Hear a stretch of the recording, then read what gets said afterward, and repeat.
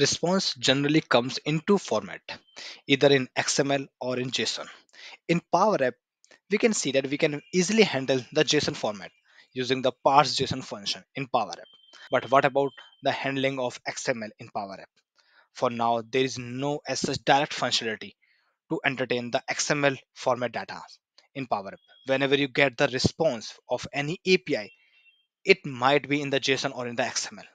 Okay, so in this video, I'm just focusing more on the XML format, how we can entertain the XML response in our Power App. Hi everyone, this is Prashant Chaudhary. I welcome you all to my channel Classy Power For this video, I have created one XML format data. So let me just show you. So this is the file that I have created. This is type of a response that I configured in type of XML. Okay, and in Power App right now, there is no as such direct functionality to do the parsing of XML. So what approach we will use? We first convert the XML data into the JSON data and then do the parsing. So I stored this response of this XML data into one of my SharePoint folder. Let me just show you. So here you can see uh, it's stored into one of my SharePoint folder my custom XML file .xml. The extension is .xml. Okay. So here you can see I have my some data.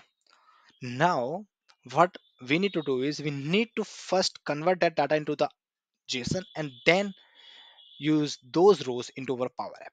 Okay. In order to convert those data into the JSON, first we need to use the Power Automate because Power Automate would be doing that. So in Power Automate, we need to create some flow. So let's come to the Power Automate for now. We come to the Power Automate.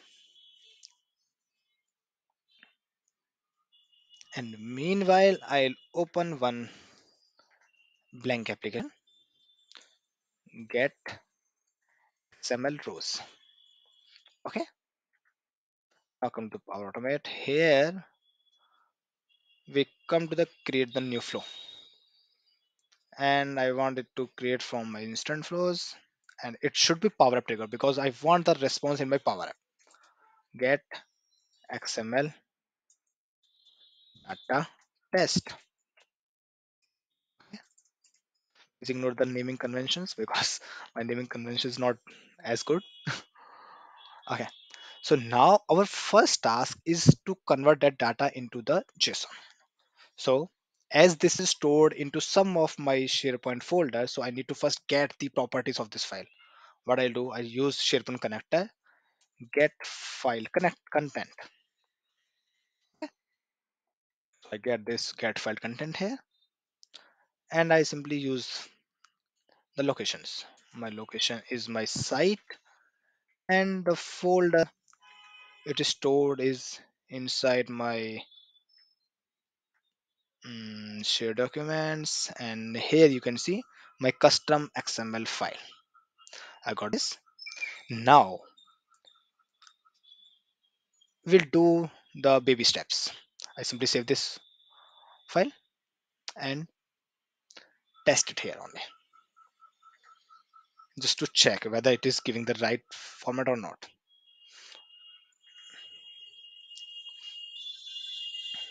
okay so let's check it out.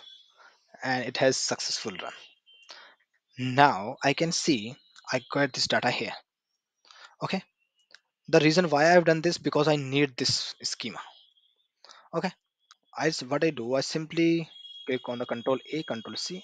I simply make the copy of this data and paste it to one of my notepad.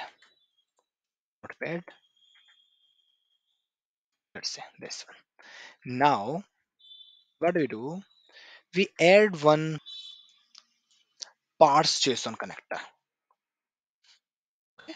we use parse json. As this is not the json format so what we need to do we need to convert this file. If i open show you this file how this file is actually looks. This is the file.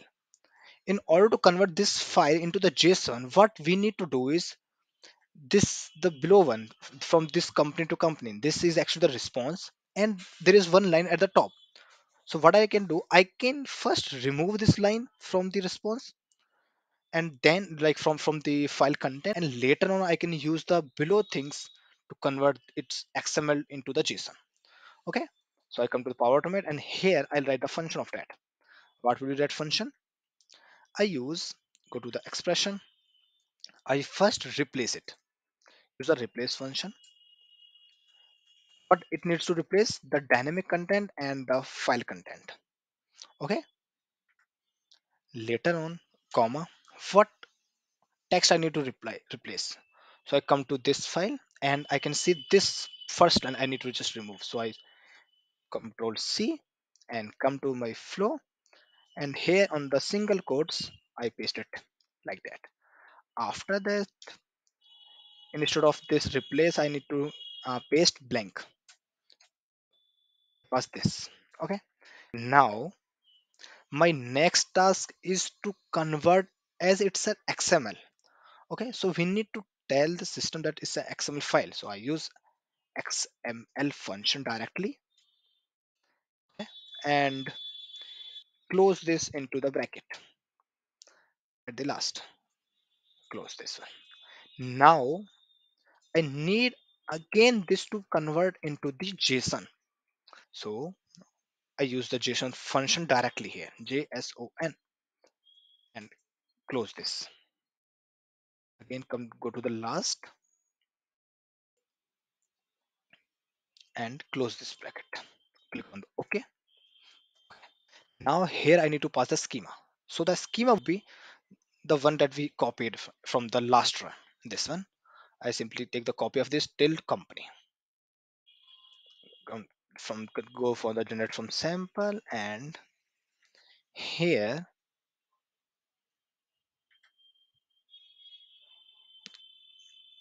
mm, if we pass something here it would not work because it's an XML format. So what do we do? I simply write my own let's say I use curly braces and use name. Name as name let's say for now I'm just using Prashant. Okay done. And then now again again do the testing. This runs and then run test. It's running okay.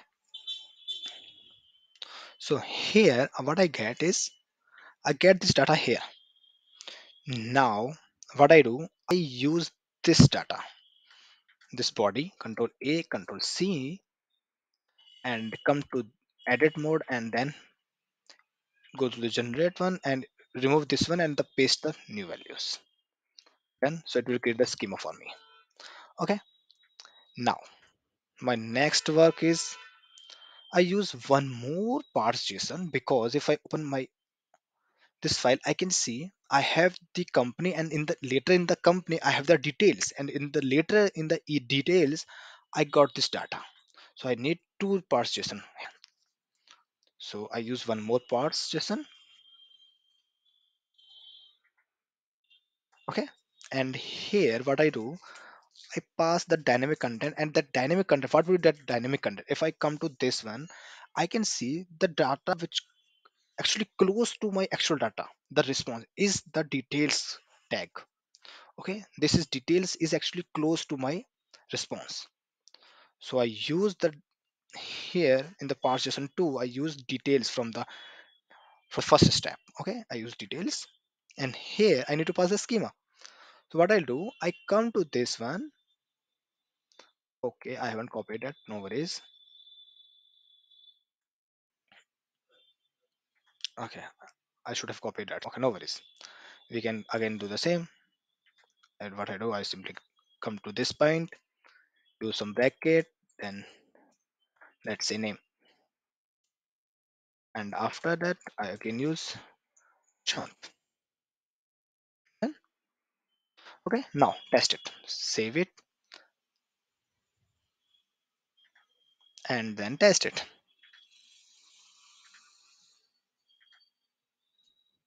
Okay there is some error it has raised. No worries.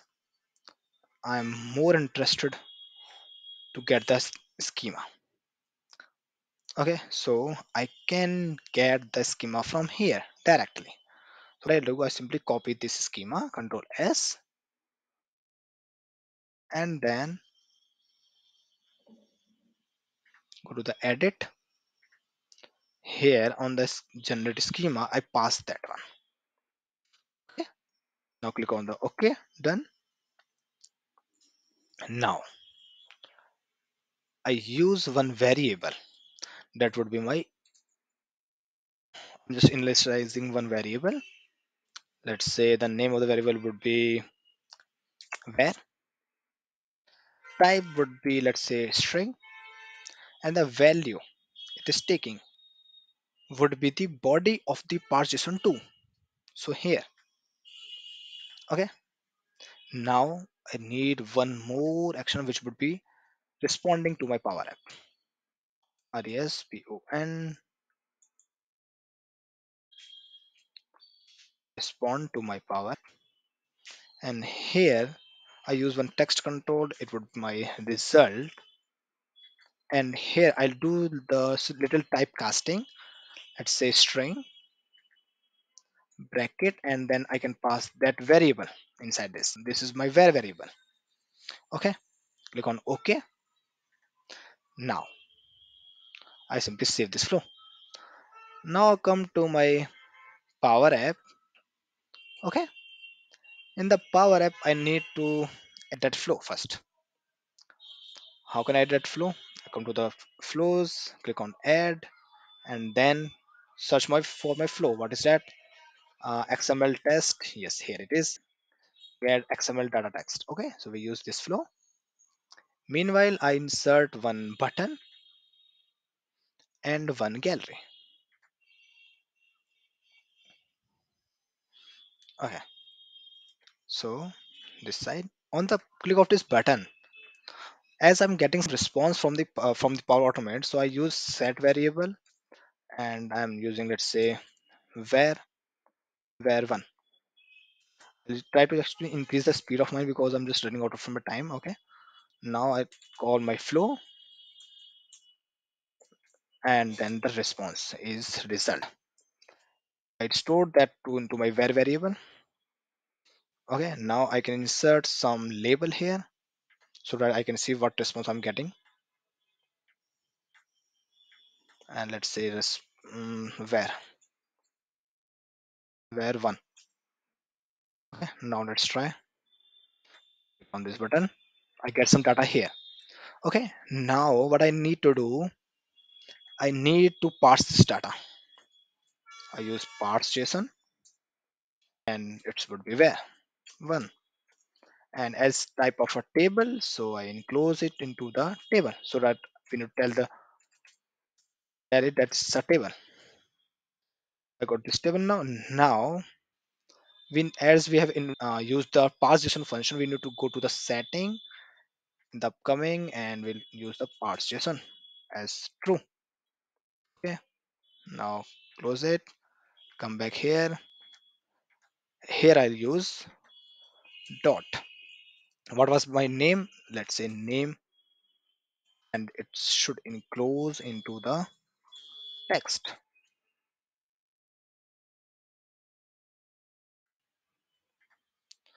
Okay. So now my next thing is like it's a variable type text type. We are missing something.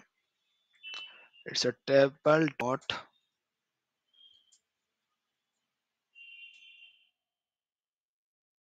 okay so here you can see i got my name. What you can just notice like this item dot value dot here i'm just passing the column names. So here you can see i have the next column as city. So i pass the city and enclose it like how, what is the data type of this one? So it's type of text. I can see the city is coming. Okay? So that is how we get the xml data